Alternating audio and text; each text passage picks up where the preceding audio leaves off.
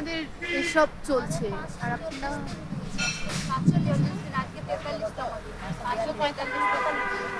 আপনি কোথা থেকে আসছেন? আসেন কি করে এত দূর থেকে? ডেলি আসতে হয় ট্রেন ট্রেন থেকে হাওড়া হাওড়া থেকে বাসে। মালদা আছে, মেদিনীপুর আছে মেদিনীপুর আছে, দিনাজপুর, জলপাইগুড়ি, পশ্চিমবঙ্গের প্রত্যেকটা জেলা থেকে আসে ক্যান্ডিডেটরা প্রত্যেকটা জেলা। কোথাও বাদ নেই।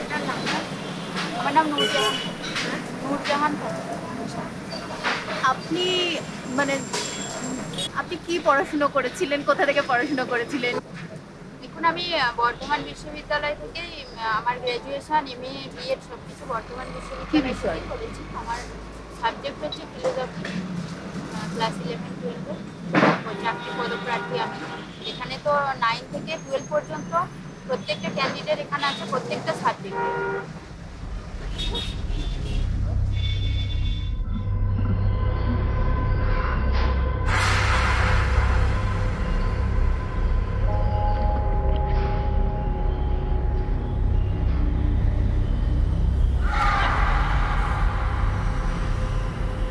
দু সালে West Bengal Central School Service Commission পরীক্ষা নেয়।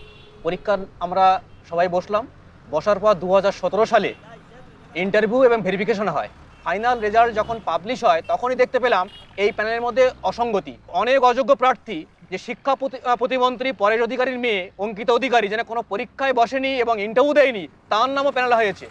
সামনের সত্তর নম্বরের যে আছে, তিনি চাকরিটা পেলেন না। একশো দশের যে আছে, তাকে অবৈধভাবে চুপ করে চাকরিটা দেওয়া হলো। আমার নিজের সাথে প্রতারণা করা হয়েছে দু সালে যখন আমার বাংলা সাবজেক্ট ফোর্থ কাউন্সিলিং যখন হয়েছে আমার পেছনে আমি চাকরি পেয়ে গেছে অথচ আমি পাই মেধা তালিকায় নাম নেই ফেল করা প্রার্থী যারা। মেধা তালিকার বাইরে থেকে নিয়োগ হয়েছে কয়েক হাজার। সেই ডকুমেন্টও আমাদের কাছে অনেক কাছে আমাদের মঞ্চের হাতে। শিক্ষাক্ষেত্রে এই রকম একটা ব্যাপক দুর্নীতি কীভাবে সম্ভব? একটা ছেলে বা একটা মেয়ে যে ফর্ম ফিল আপ করেনি যে ফেল করেছে পাস করতে পারেনি পরীক্ষায় সে কি করে তিন বছর ধরে চাকরি করে?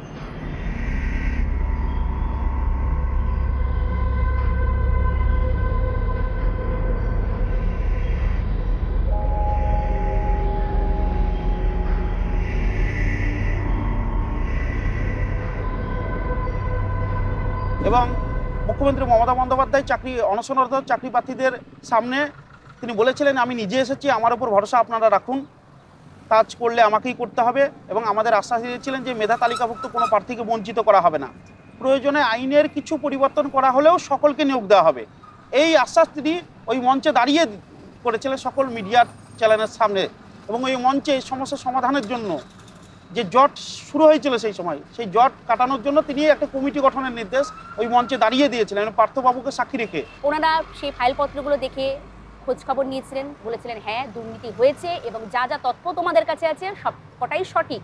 ওনারা আমাদের এটাও আশ্বাস দিয়েছিলেন যে চল্লিশ দিনের মধ্যে আমাদের সমস্যার সমাধান করা হবে আমাদের প্রত্যেকের নিয়োগের ব্যাপারে আশ্বস্ত উনি করলেন। হঠাৎ করে মোড় ঘুরে যায় ঘটনার। হঠাৎ করে কিছুদিন পর কয়েক দফা আলোচনার পর আমরা দেখলাম যে ওই পাঁচজন প্রতিনিধি, তারা আর আমাদের কারোর সঙ্গে যোগাযোগ রাখছে না। তাদের ফোন নম্বর চেঞ্জ করে দিচ্ছে ফেসবুক থেকে তাদের যত রকম মুভমেন্টের ছবি, তারা সব উড্ডো করে সব বন্ধ করে ই করেছে।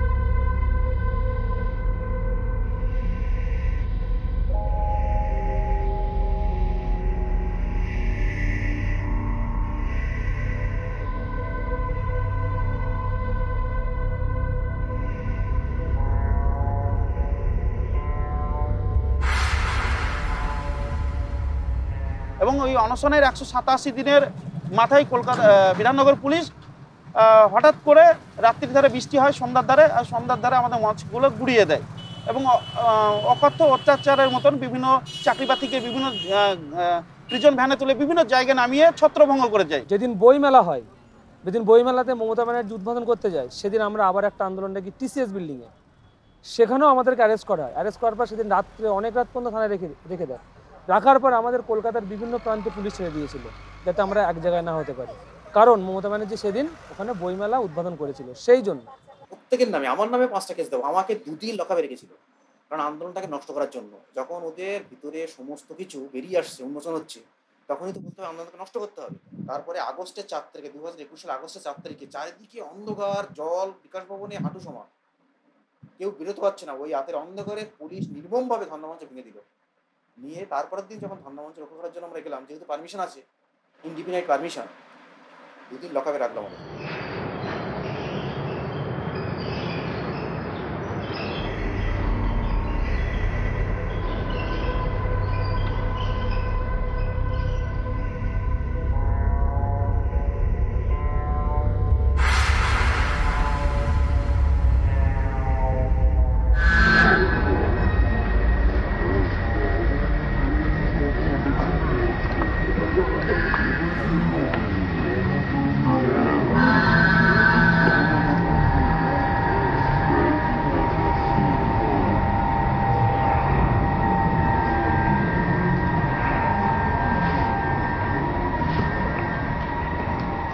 দু হাজার উনিশ সালে কেসটা করেছিলাম। ওখানেও ঘাবড়া ছিল। ওখানে এই জন্য ঘাবড়া ছিল। আমাদের যে প্রায় ন লাখ টাকা আশিসবাবু নিয়েছিলেন ঠিক আছে? নিয়ে আবার একটা হিয়ারিং করেছিলেন, তারপর বন্ধ করে রেখেছেন। কেন বন্ধ করে রেখেছেন? যে পাঁচ প্রতিনিধি ছিল, আমরা তো ওকে ওকে তো আমরা বিশ্বাস করেছিলাম। ওরা চাপ দিয়ে ওনাকে বন্ধ করে রেখেছেন, যে আপনি কোনো মুভমেন্ট করবেন না কেসের এবার পুরো ন লাখ টাকা আমাদের আশিসবাবু খেয়ে নিয়েছেন। শিক্ষা নিয়োগের ক্ষেত্রে, শিক্ষক নিয়োগের ক্ষেত্রে এইরকম একটা large scale systematic institutionalise scandal সম্ভবত ব্যাপমও নয়। ব্যাপমেও হয়েছে এজেন্ট দিয়ে কিন্তু এখানে যেটা করেছে কারা করেছে সরকার করেছে। এই রাজ্যে এত ইলিগাল অ্যাপয়েন্টমেন্ট হয়ে গেল অযোগ্য প্রার্থী যারা চাকরি পেয়ে গেল। এদের এদের তো বাতিল করতে পারতো সরকার নিজে উদ্যোগে বা স্কুল সার্ভিস কমিশন নিজে উদ্যোগে করতে পারতো কারণ সেই আইন আছে। স্কুল সার্ভিস কমিশন অ্যাক্টে নির্দিষ্টভাবে প্রভিশন আছে। সেই প্রভিশন ইনভোক করল না। যারা নম্বর পাওয়ার ক্ষেত্রে যোগ্য নয়, তাদেরকে এক নম্বর করে বাড়ি দেওয়া হয়েছে কারা বাড়িয়েছে, কেন বাড়িয়েছে, একটা কমিটি তৈরি করে। কে কমিটির মূল্য, কি কমিটি কে তৈরি করেছে বলছে শিক্ষামন্ত্রী অ্যাপ্রুভালে আছে। এই যে ধরুন হাজার হাজার ইলিগাল অ্যাপয়েন্টমেন্ট হলো, এরা যে অত্যন্ত ধনী পরিবারের সন্তান প্রত্যেকে তা কিন্তু নয়। এরা এদের মধ্যে অনেকেই হয়তো জমি বিক্রি করে, বাবার পেনশনের শেষ সম্বলটুকু দিয়ে চাকরিতে ঢুকেছেন হয়তো। ঘুষ দিয়েই ঢুকেছেন। অ্যাপ্রুভাল বলুন কমিটি বলুন, এই সব শব্দগুলোর সঙ্গে সঙ্গে একটা করে স্যাংটিটির প্রশ্ন থাকে। অর্থাৎ there is a sanction of the government একটা কমিটি আছে, সেই কমিটি ডিসাইড করছে। এই ধারণাটা দেওয়া হচ্ছে। ভয়াবহ ছবি। মাননীয় মুখ্যমন্ত্রী মমতা বন্দ্যোপাধ্যায় খুব স্পষ্টভাবে বলতে চাই তিনি নিজে বলেছেন যে, এবং তাকে কোট করে রাজ্যের শিক্ষা, বর্তমান শিক্ষামন্ত্রী ব্রাত্য বসু তিনি বলছেন যে, মাননীয় মুখ্যমন্ত্রী চায় না একজনেরও চাকরি চান। আচ্ছা বলুন তো। যে সাদা খাতা জমা দিয়ে যে ব্যক্তিটি চাকরি পেল, তার চাকরি রক্ষা করার জন্য রাজ্যের মাননীয় মুখ্যমন্ত্রী এত উদ্গ্রীব কেন?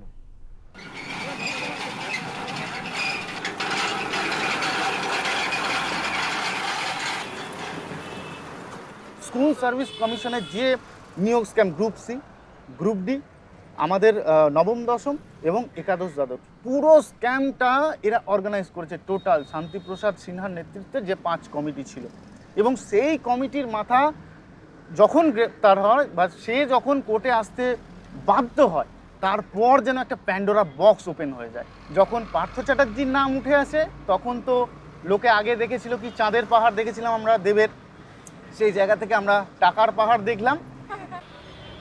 যারা ভারতের গণতন্ত্রের নামে শপথ নিয়ে সাংবিধানিক নিয়ম পালন করবে বলে যারা প্রতিজ্ঞাবদ্ধ, তারাই সরকারের জনগণের ভোটে গতিয়ান হয়ে জনগণের উপরে এরকম বিদ্রুপ করে যায়। বিভ্রান্তিকর পরিবেশ শিক্ষায় নৈরাজ্য অবস্থা অযোগ্য ব্যক্তিদের যদি চাকরি দেওয়া হয়, তাহলে শিক্ষাক্ষেত্রের কি অবস্থা হবে? এটাকে শুধু ধিক্কার জানালেও বোধ হয় শেষ হবে না। এই অন্যায়ের এক সঠিক প্রতিকার এর দাবি আমরা রাখছি। মুখ্যমন্ত্রী এই অনশন মঞ্চে আগেও নিয়েছিলেন প্রতিশ্রুতিও দিয়েছিলেন চাকরি কিন্তু দেননি। চাকরি প্রার্থীরা নিজেদের উদ্যোগে রাস্তায় নেমেছেন আজও রাস্তায় নামছেন। যতদিন না দাবি আদায় হবে চাকরি প্রার্থীরা রাস্তায় নামবেন। তাদেরকে আমরা মাথায় তুলছি না অথচ এই যৌথ মঞ্চের সাথে করে আমরা কি এগিয়ে যেতে পারি না? মা দুর্গার পুজো মণ্ডপে যাচ্ছেন আমরা যারা saber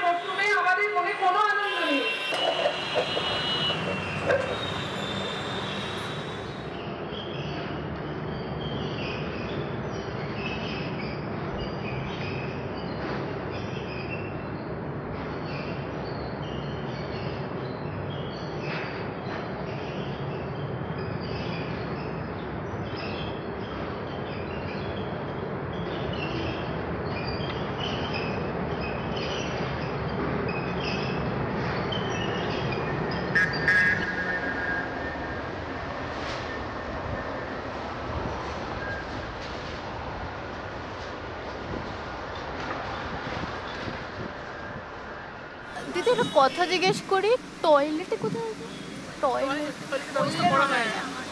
ক্লাবে ক্লাবে পয়সা দিতে হয়? প্রথম যেদিন শুয়েছি মানে প্রথম যেদিন ছিলাম আমরা মানে কুকুরের জায়গাগুলোতে তো আমরা শুয়ে পড়েছি ড্রেনের উপর শুচ্ছি বড় বড় ইঁদুর কুকুর এগুলো ঘোরাঘুরি করছে। তো তাদের জায়গা আমরা দখল করে নিয়েছি। তারা স্বাভাবিকভাবে আমাদের গায়ের মধ্যে এসে শুরু- শুয়ে পড়বে। আমাদের কোর্ট পারমিশন নিয়ে দশটা থেকে পাঁচটা। পাঁচটার পর সবাইকে চলে যেতে হয়। কিন্তু পাঁচটার পরে চলে গিয়ে কোথায় থাকব? কারণ পশ্চিমবঙ্গের প্রত্যেক দূর দূরান্ত থেকে, প্রত্যন্ত গ্রামের থেকে ছেলেমেয়েরা এসে কিন্তু ধর্ণা অবস্থান করছে। বিভিন্ন জায়গায় কারও আত্মীয়র বাড়িতে কেউ কাছাকাছি কোনো লজে থাকছে বা কেউ আমরা খুব ছোট্ট ঘর এই আশেপাশে ভাড়া করে একটা ঘরে দশজন থাকা যায়, সেখানে দশজন নয় কুড়ি জন পঁচিশ জনও থাকছে। কোনো ক্রমে রাত্রে দিনটা রাত্রটা কাটানোর পর আবার সকালে এসে কিন্তু দণ্ডাবস্থান করছি। আমরা কিছুদিন থাকার পর একটা বাচ্চা তার মায়ের সাথে করে যাচ্ছে তো তার মাকে বলছে যে মা রাস্তায় এত ভিখারি কেন? কিছু ছেলে মেয়ে আছে সকালে খেয়ে যায়। পাঁচ টাকা খরচ করতে ভয় হয় পাঁচ টাকার মা ক্যান্টিনে ভাত খেতে গেছে। আমার ক্ষেত্রে গেছে তো। যখন ওই ধর্নামঞ্চ চলাকালীন লকডাউন পিরিয়ডে দশ টাকা রেড ভলেন্টিয়ারে ভাত খাওয়ার জন্য কিন্তু আমরা লাইন দিয়েছি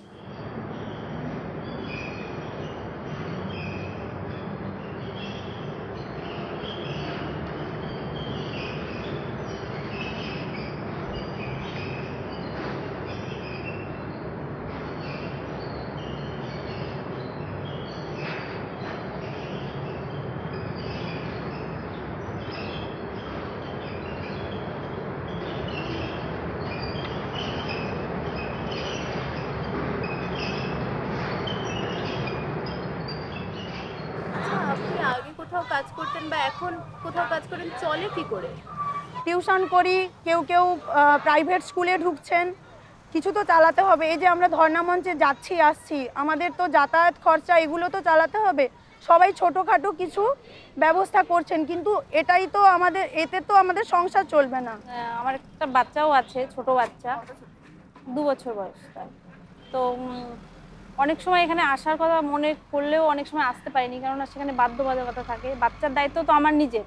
সেখানে এমন মানে বাধা হয়ে দাঁড়িয়েছে অনেক সময় আমার মানে শ্বশুরবাড়ির লোক বা হাজবেন্ড বলে ওখানে যে গেলে বাচ্চার কষ্ট হবে বাচ্চার সারাদিন কষ্ট হয় ওকে আমি এমন অবস্থায় ওকে নিয়েও আসতে পারি না বা ওকে আমি রেখেও আসতে পারি না।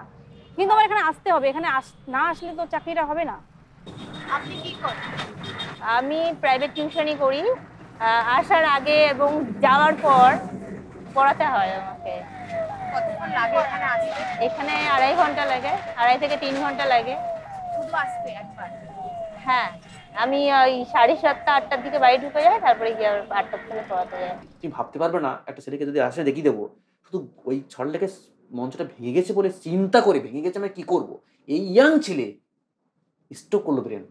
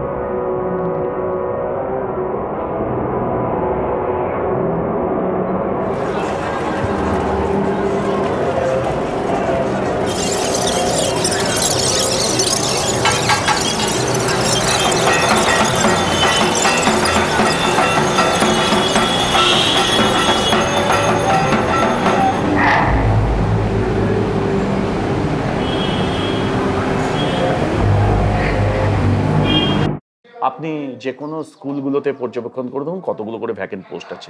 ভ্যাকেন্ট পোস্টগুলোকে আপনি সবকটাকে যোগ করে দেখুন, তাহলে কতগুলো ভ্যাকেন্ট পোস্ট টোটাল আছে।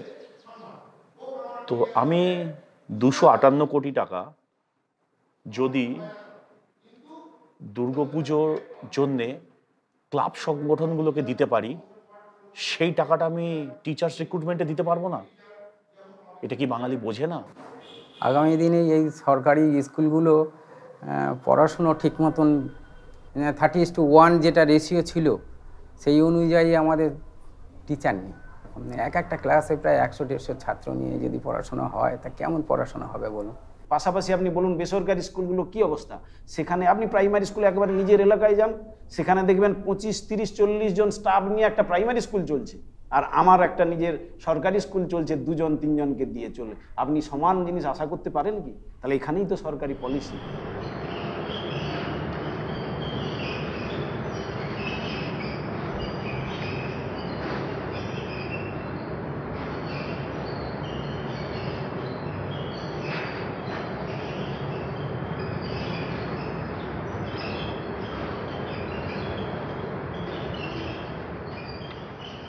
জনসাধারণের সঙ্গে তো সরকারের একটা চুক্তি হয়েছে, তাই না?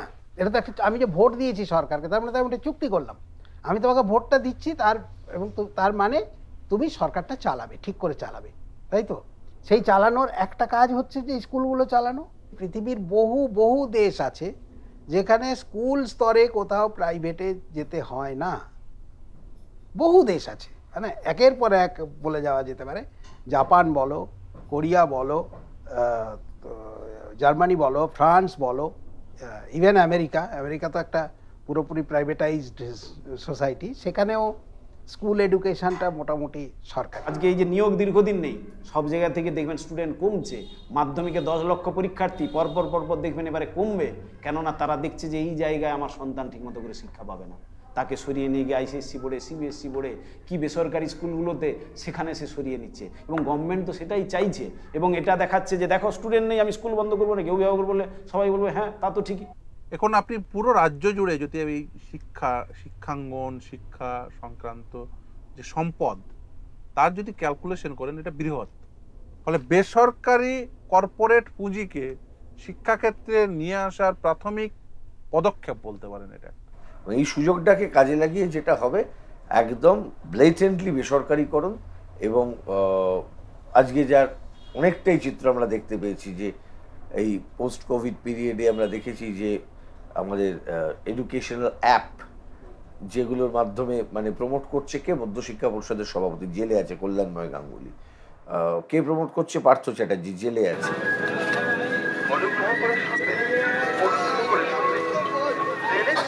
কাটার জন্য যারা স্টেশনের দিকে চলেছেন আর চিন্তা করছেন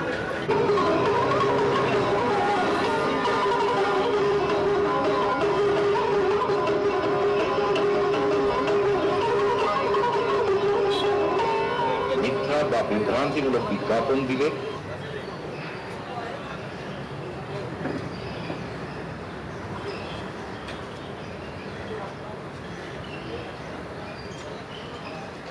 আজকে যদি বাচ্চারা পড়াশোনা ছেড়ে দেয় মানে ক্রমশ শিক্ষা ব্যবস্থাকে সেই দিকে নিয়ে যাওয়া হচ্ছে যেভাবে পিএসইউগুলোকে শুকিয়ে দেওয়া হয়েছিল পাবলিক সেক্টর ইউনিটগুলোকে কারখানাগুলোকে ঠিক সেভাবে সরকারি স্কুলগুলোকে শুকিয়ে মেরে দেওয়া হচ্ছে। In 80s and 90s, all these government schools were considered as very elite kind of schools যেখানে সবাই অ্যাডমিশনের জন্য দৌড়তো।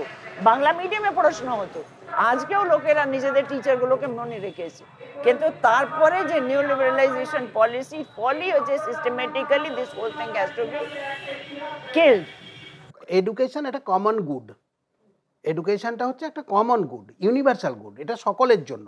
কমন গুড হিসেবে মানলে আজকে কলকাতা শহরে যারা তাদের সন্তানদের লেখাপড়া করার সুযোগ যতটা থাকা উচিত, একজন ক্ষেত মজুর তিনি যেই হন আর ক্ষেত মজুর বা একজন চাষি একজন ছোট ব্যবসায়ী তার সন্তানের লেখাপড়া করার সুযোগটা কিন্তু একেবারে সমান হওয়ার কথা। কোন্নগরের একটি স্কুল সরকারি স্কুল। তাকে বেসরকারি করে দেওয়া হচ্ছিল পাড়ার লোকে প্রোটেস্ট করে আটকেছে। তো এটা কোন কোন স্কুলের ক্ষেত্রে করা হবে আমরা কিন্তু জানি না। ইয়েস বেসরকারি হাতে তুলে দেওয়া হচ্ছিল পাড়ার লোকে আটকেছে। করো না। হ্যাঁ? একটু দূরে যা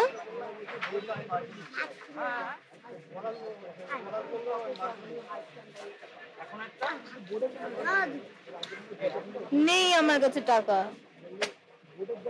তুই দূরে যা। আচ্ছা তুই দূরে যা তাহলে তোকে পাঁচ টাকা দেবো। একটু আর একটু দূরে যা।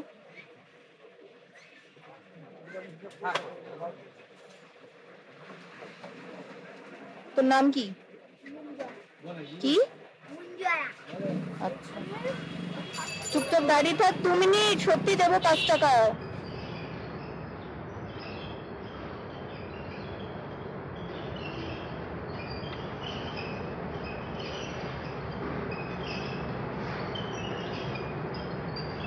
তুমি যদি দেখো যে নিরক্ষরটা কারা, নিরক্ষরদের হিসেব যদি নেওয়া হয়, নিরক্ষরদের হিসেব হচ্ছে সব থেকে বেশি হচ্ছেন মেয়েরা এবং মেয়ে কোন মেয়েরা? আদিবাসী মেয়েরা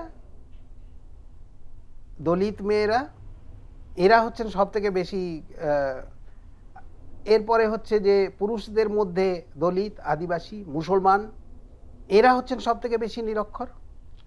কেন নিরক্ষর? এই নিরক্ষরতার একটা আমরা মানচিত্র তৈরি করেছিলাম দু হাজার দশ সাল নাগাদ। এবং এই মানচিত্রটা এখনও কিচ্ছু বদলায়নি।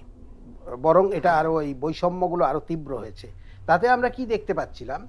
যে যে জায়গাগুলোতে এই দলিত আদিবাসী মুসলমান এবং দলিত আদিবাসী মুসলমান আমাদের রাজ্যে মানেই হচ্ছে খেটে খাওয়া।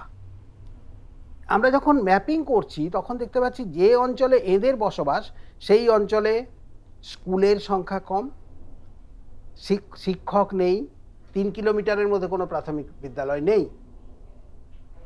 নেই। দু হাজার দশ সালে বামফ্রন্টের বিরুদ্ধে যে ধরনের তির্যক মন্তব্য শোনা গেছিল। এখন কিন্তু সেই আওয়াজটা আপনি কান পাতলে চায়ের দোকানে শুনতে পাবেন বাসে শুনতে পাবেন ট্রেনে শুনতে পাবেন ট্রামে শুনতে পাবেন।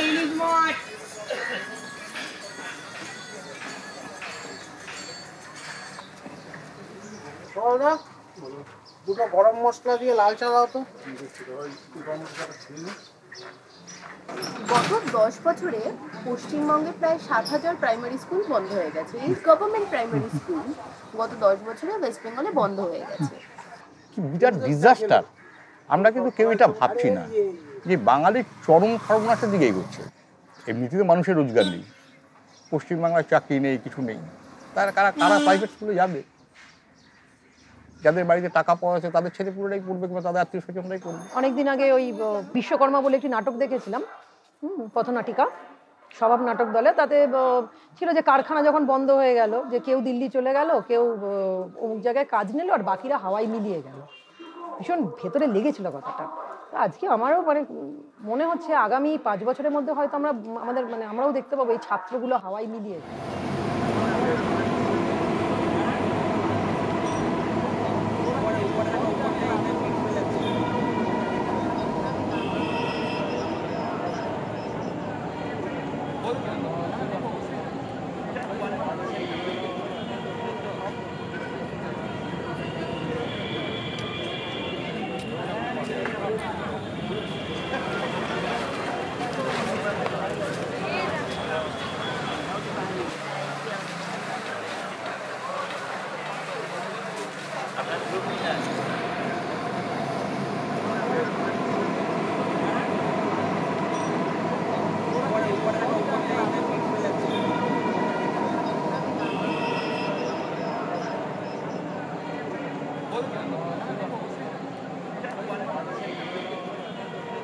ছেড়ে সব ফ্যামিলি ছেড়ে বয়স্ক বাড়িতে বাবা মাকে রেখে দিয়ে এসে এই অবস্থায় আমাদেরকে রাত্রি যাপন আমি নিজে টিএমসি যুব সভাপতি ছিলাম। এখনও আছি। তাহলে আমি রাজনীতি করছি। আমি এবার আসলে বলব তো আমি। যখনই করব আমি তখনই বলব। আমি এখনও বর্তমানে টিএমসি যুব সভাপতি। তাহলে আমি রাজনীতি করছি এখানে। রাজনীতির লোকরা রং- রং লাগাচ্ছে এখানে। আমি এই কথাটাই বলব। আজকে একজন আমাদের সঙ্গে এসেছিলেন বাঁকুড়া থেকে। যিনি কার্গিল যুদ্ধে দুটো হাত কাটা গেছে। তিনি বাঁকুড়া থেকে ছুটে এসেছেন সহানুভূতি দেখাতে এবং অনেক টিভি চ্যানেল তাকে কভার করে হ্যাঁ, তাহলে ওনার কি রাজনীতি কম? এবং আমরা ওখানে যখন শহীদ হয়ে আমরা মাতঙ্গিনী হাজরা। বাবাকে ধর্ণা দিচ্ছিলাম। সেখানে অজস্র দিন অজস্র ex teacher present teacher primary teacher headmaster মশাই তারা আমাদের সঙ্গে আমাদের দান্ডাবান ছিল ওখানটায়। তাদেরও কি রাজনৈতিক রং থেকে তারা আসছে?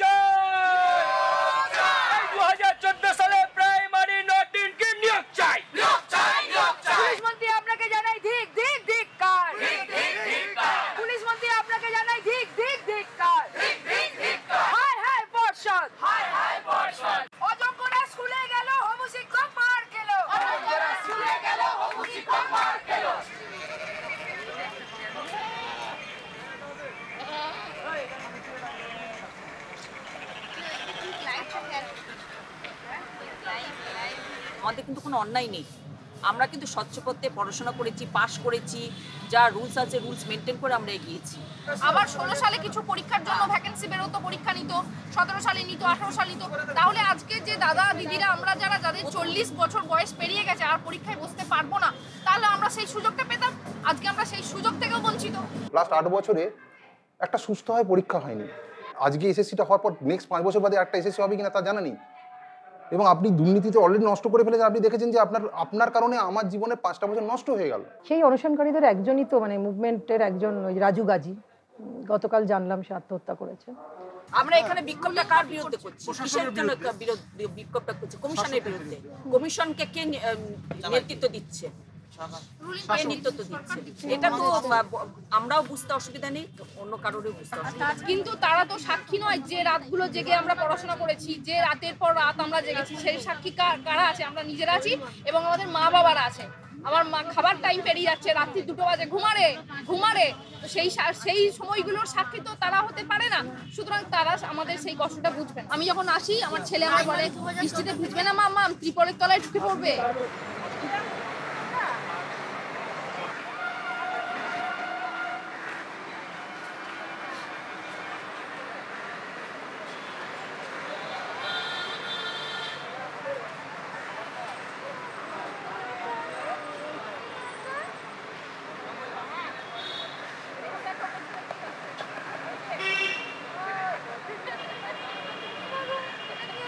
আবার আরও অন্য প্রবলেম আছে মানে শ্বশুর বাড়িতে গিয়ে একটা ঘরের বউ এসে আন্দোলনে গিয়ে নিয়োগ চাই নিয়োগ চাই করে চিৎকার করবে এটা অনেক শ্বশুরবাড়ি আছে তারা এটা মানতে পারবে না। সেখানে সেই বাধা পেরিয়েও আমাদেরকে আসতে হচ্ছে। ভয়ের মধ্যে নেই আমরা আমরা এখানে আছি মা খাওয়ার জন্য। মরার জন্যই শুয়ে আছি এখানে আমরা। আমরা ভয়ের ঊর্ধ্বে চলে গেছি। কি করবে আমাকে? কি করবে? কি করবে আমাকে?